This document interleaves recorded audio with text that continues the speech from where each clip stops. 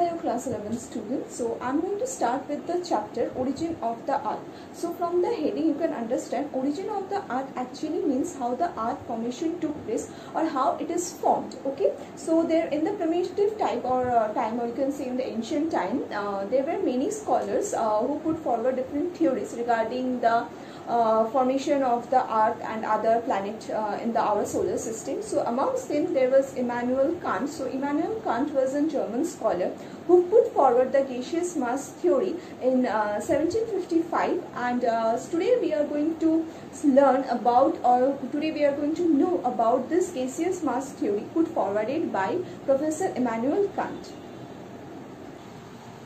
said that previously uh, there were innumerable number of tiny particulate matter or primitive matter spread all over the universe which later on were cooled and motionless okay? But due to the gravitational attraction that occurs between them they came closer to each other. So as a result of that a collision occurred between the two particulate matter. So means uh, previously it was numbers of different tiny particles matters were spread throughout the universe but with time uh, what happened? That due to the gravitational attraction they come closer to each other. Means uh, for example this is a particulate matter this is another particulate matter. So what happened? When they come closer to each other collision occurs and as a result of that collision the temperature between these two increased and along with the temperature the speed also uh, the speed of the motion also increased.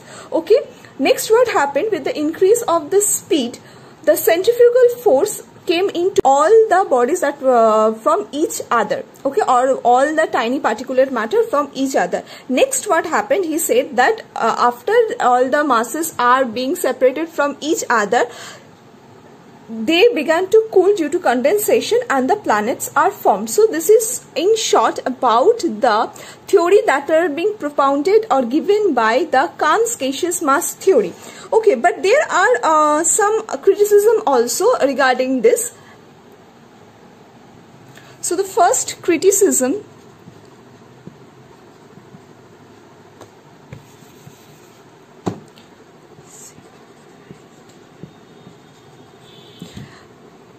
number one is that Kant was not been able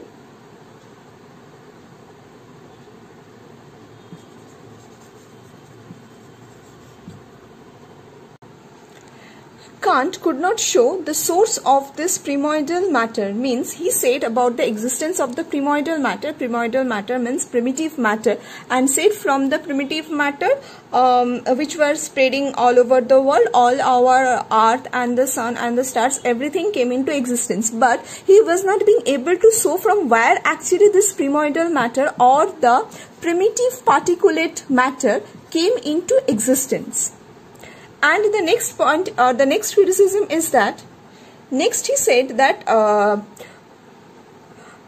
the motion came into existence when this uh, particulate matter due to the gravitational attraction came into each other came closer to each other. The collision occurred and the motion uh, and they gained the motion. From but he was not being able to explain the source of the energy from which uh, or which caused the motion. So this is another criticism of his theory.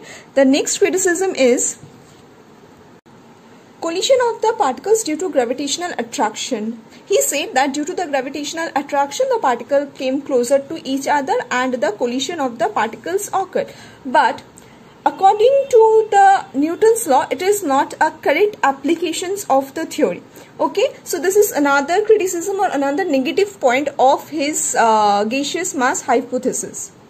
Next was he said uh, about the concept of the rotational motions uh, of this tiny particulate matter which was also against the law of the mathematics because the law of the mathematics does not support this rotational motion that he said about. So in a nutshell, uh, though Professor uh, Kant or uh, gave um, uh, hypothesis regarding the formation or the origin of the earth which in which he said that uh, the, there was some primitive matter which spread all over the universe and with time they came to closer to each other due to the gravitational attraction. And when they came to each other collision occurred and uh, with the collision the temperature increased and all the particulate matters got motion. So when they start motions they began to spin like eddies.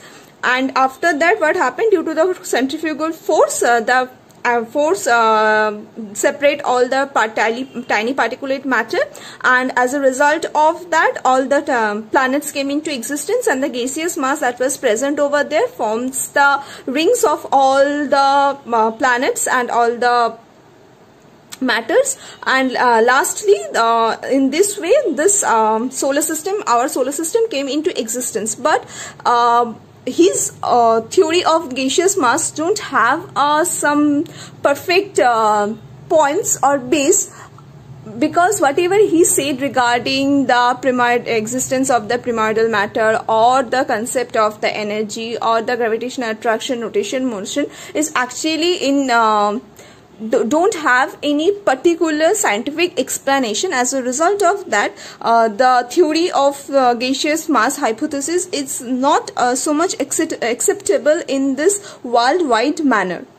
So this is all about uh, the Kant's gaseous mass hypothesis. So uh, if you have any problem or any queries, please mention in the comment section and I'm going to uh, do or I'm going to explain this uh, thing again in uh, if wherever you have going to have means wherever you have the problem. So thank you everybody.